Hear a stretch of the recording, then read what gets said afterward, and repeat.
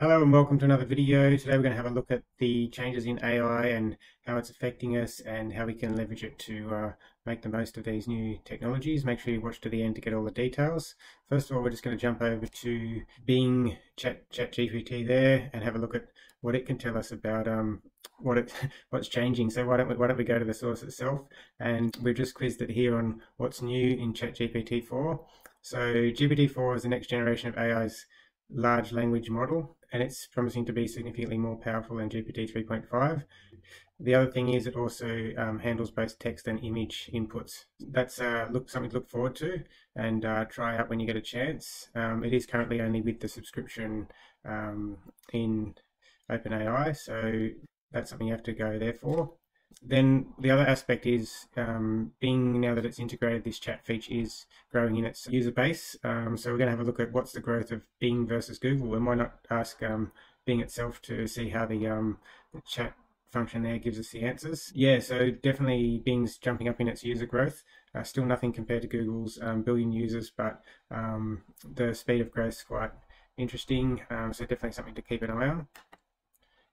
Google commands the largest search engine market share while Bing holds a 2.5% share. So the, the figures are um, pretty dramatically different, but it's the um, growth in users that's interesting and whether they can innovate faster than Google being the kind of underdog there. Uh, I'm sure Google's more hesitant to uh, make changes and um, that kind of thing. So we can have a look at the GPT impact on um, software.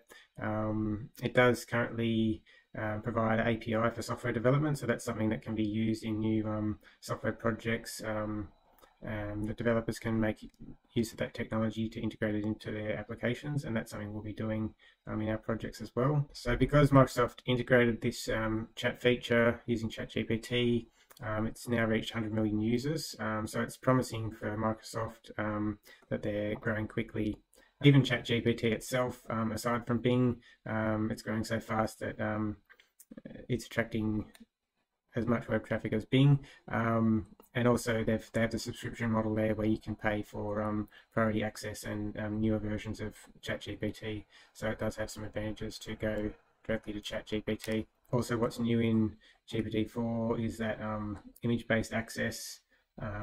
this is a link that has been sent by the ChatGPT. So interesting that it gives us these these links. And there's also a developer live stream, which is really informative, um, that can be viewed from OpenAI. Well worth a look. And the interesting part is that um, searchers appear to be happy with Bing's results, um, despite technical glitches. So um, apparently there's a 70, 71% satisfaction. Um, and you know, even though it's still in uh, you know demo mode and um, they're, assuring users that they're testing things and improving it all the time. The good, um, searchers seem happy with the results, increased engagement um, and content creation tools. Um, there's also quite a few of the downsides that, that aren't necessarily being talked about so much. Um, the information is chatting for fun and uh, trying to trying to trick the AI or get it to say something crazy. Um, so it's um, often uh, reported that it seems to have multiple personalities. Um, it gets confused when you have a long conversation, which is why they've limited it now to a certain number of questions.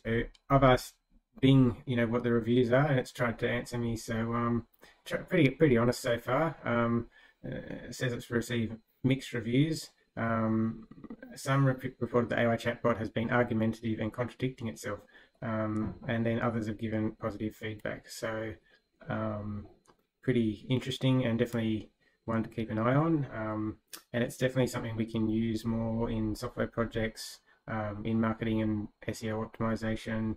On the, on the uh, negative side, there's an article on um, Business Insider. People are sharing shocking responses from the new AI-powered Bing, from the chatbot declaring its love to picking fights. So people are also finding some some strange um, responses and uh, outputs. So um, pretty much um, interesting and a little concerning at times, um, something for sure to keep an eye on.